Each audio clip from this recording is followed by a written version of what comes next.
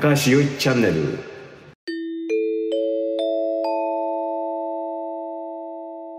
小室さん小室圭さんが、あのなんかすごい長いレポートを、28ページ。はい、書いてきました。読みましたよ、はい、どうですかね あの最初読んだ時のいあの感想を言えばね、はい。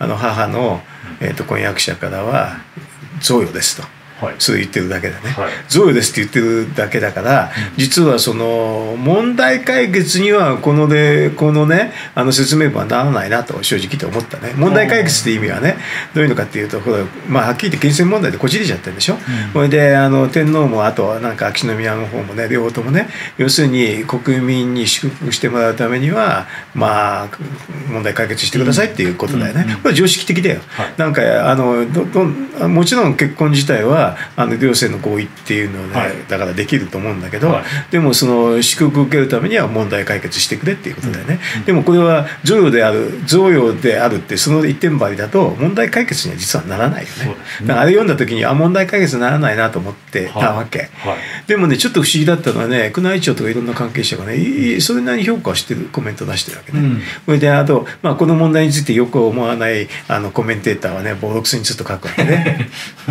だからちょっと温度温度差があるなと思ってたら、その後に解決金っていうのがありますっていう話に出たよね、はい。で解決金っていうのはどういうのかっていうと贈与なんです。贈与なん贈与で返す必要はないんだけど、なんか問題があるから、あの誠意を示しますってそういう話だよ、だから贈与は贈与。でその負けてないんだけど、なんかあの解決するためにはいろんなことを出しますっていう話で、解決金っていうのは解決するための手段じゃない？だからそうするとこれがう素直に受けられるかどうかってび微妙だけどねはっきり言ってね、あの相手の方の人もね、うん、なんかこんなのお金の問題じゃないっつってこねる時あるんだよね、でおでもあるんだけどでも一般的に400万円ぐらいねもらった時に悪い気がしましないよね、そう。するとねこれは水に流そうと思うかもしれないね、でもある意味いろんな意味でこれはね解決に向けた一歩にはなるよね。というふうに思ったわけ。宮内庁の人はねはっきり言ってこの解決金の話はね小室さんの説明文の時は知ってたと思うな。あそう知っなんです、ね、てたからこんな悪いこと書かないんだよ。へえ、で当然これはあの眞子さんも知ってたし解決金の話が出てくるのは知ってて、うん。それで説明文の時に一緒に出さないっていうのはこれは戦略だと思うよね、なるうん、様子見ながらやってるねあの説明文の時の報道を見たらそのお金を渡しちゃうと借金をしてたっていう事実になっちゃうからそれはできませんでしたみたいな説明があったってうんでもだからそそれとあのこの話を批判する時には説明文と違ってるって言うんだけど、言いますよね。まあこれは違わないよねはっきり言うとね。解決金は別だっていうだけだ。あそうなんですね、逆にあの手紙を出したことで解決金を出してもそう言われなくなったっていう下地を作ったそうそうそう。でそれはどういうタイミングで出すかは別なんだけど、解決しようって意識はある意思はあるよね、うーんだから、うん、それはそれでだから贈与であるっていう建前のもとに解決金っていう別の手段をやあのと取ったっていうふうには取れるよ。だからこれをだから批判する方から見ればね言ってることと違うじゃないかって言うんだけどよくは違ってないよ。あそういうことそうそうなんで もさひ批判する方の立場から見ればさあん時説明した時にはね、と違うじゃないかって言いたくなるんだよ。でもそれはあんまりロジカルじゃないけどね。うーん。うん。最終的にはねあの眞子さんにはね強い手があるんだよ一個。強い手があるうん、と内親王でしょ？一番簡単なのは今の段階で結婚する前にね、結婚しても皇室離脱になるんだけどね先に自分の意思で皇室離脱できるんだよ、はい。そしたらね一般詩人でしょ？普通の席があって、そしたらもう何でも文句ないんだよ、それは最後あのあるんだよ手は。これでねこれはね天皇とかそういうのはできないんだよ。うーん。うん自分の意思によって離脱はできないの、でもお女性の方はできるんだよ。あうん、だからねあのその手があるからそこが最後ね持ち出されたらもうどうしようもないんだよ、そうするとねあのあの秋篠宮だってねそんなの分かってるから、ん。で最後はもうそのこあのなんか個人の意思を尊重するとしか言いようがないんだよ、うん、そうか。だからだんだんだんだんあの結婚に向けてであの眞子さんがね揺らがなければできる。んだよ、でも諦めちゃったら別だよ。だからこんだけで2年間粘っいや3年かな、ね揺ら揺らいでないんだよねあれは。そうなんですねああ全然揺らいでないよすごいね。まあこれをよく思わない人はね一時的な話をするよ。はい。一時的な話はでもどうどういうふうに離脱しても払うからな。うーん。うん、それで、うん、離脱で結婚に向けていくんじゃないの、これだからもしくはまあ家庭の話ですけど女性見分け作るみたいな話あったじゃないですか、うんうん。それがもうできちゃってたらそれもできないですよね。普通はこういうのはさあれだよ制度改正ってのはあった後でだからその前に結婚したんじゃないの？あーあうん。そうなりそうだった、うん、だって今のパターンで言ったらその長々とその何年もさ続けてやることないと思うけどね、そうかそうか。うん、そうすると意志が強いからってんで、うん。先に離脱しちゃうんじゃないの？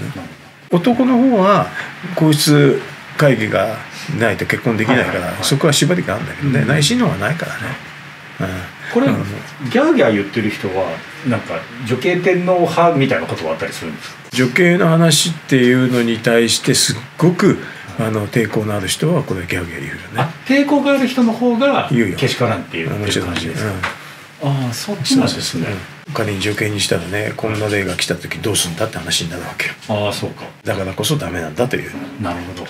うん。うん。だからこそあの男系で行くんだ。まあ男系で行くって形になるとさ実はね私ね小泉政権の時にはいはいはい。女性宮家の議論があったじゃん。ありましたね。その時にねちょっとや仕事でやってるんだよあ私。そうなんですか。意外でしょ。へえでもねな何やったかっていうとねあのね今の制度のまま側室なしではい。何代持つかっていう確率の話として子供が産むよね。それで男女比が半々。うん。そうするといろんなシミュレーションするんだけど5代持たないんだよね。あそうなんですね。もうまず持たない。3代ぐらいアウアウトになっちゃう。へえ自然に。でこれをなぜ今までできたかっていうと側室があったかってそれだけなん。で側室はできない、はい。となるともう必ずもう耐えちゃうんだよ。なるでこれなんとかできないかっつって、旧宮家の復活かなんかで、はいはい。ちょっと伸びるんだけど最終的には確率2分の1で子供がたくさん生まれないから結構無理なんだよ。でで私はその時の、あ表には出てないよ、はい。その時の案はね男女産み分け実言ったわなけ できるんだよ。技術的にはできる。そうなんですか、かなりの確率でできるんだよ。へえ本当に本当に保つうと思うんだったらあのもちろんあの木崎さんのねご合意っていうかね元だけだとそれは科学的ななんかをする？もちろんもちろん。だからそれの産み分け術であの男女比率を変えてそうするとかなりの程度今の制度のまだものも持つんだよ。そんな技術があるんですうん、しょうがないよね。だって手がないんだもん。側室はダメ。かはいはい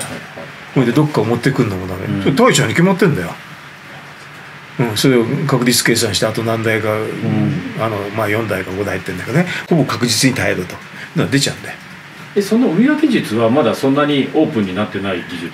オープンにはなってるよ、なってるんですか、うん、でそれで比率を高める男女比の比率を変えるってだけだけどね、そんなうん、知らなかったです。そう。普通に医学であるってこと？もちろん。へえあじゃあそれ使えばいいじゃないですかね。でないない自身が言うできないじゃん。男性なんか男性ね。だからもう技術的な話としてうそれぐらいしか手がないんじゃないですかって言っただけだよ、なるほどなるほど、あ確かにそうですうん苦しいんだよなかなか。もう玄関に却下されたけどね。あそうですか。こんなの無理だ。っ て皆さんの質問をお待ちしております。よかったらチャンネル登録をお願いいたします